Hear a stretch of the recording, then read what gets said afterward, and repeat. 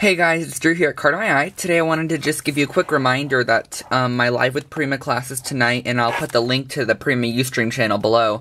But we're going to be making this Acrylic Boys mini album, and it's using one of the Prima Build-A-Books, and this is one of the acrylic Build-A-Books. Um, and it's using the Youth paper line from Prima, which is one of the really old paper lines. But I'm going to be showing you how to create this from start to finish. I love this felt um, strip here. These are so much fun.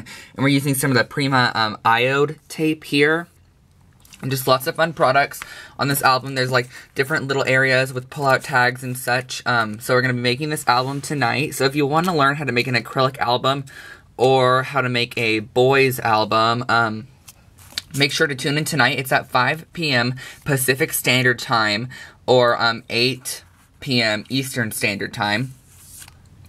And um, so yeah, and I'm also going to put a link to um, somewhere that you can purchase your kits if you want to get them early before your class because you know normally they sell out during the class. So if you want to order your kits early, I'll put a link below. Um, look, there's even like little swivels and such, but I'll put a link below on um, where to get that um, class, where to get the class kit early.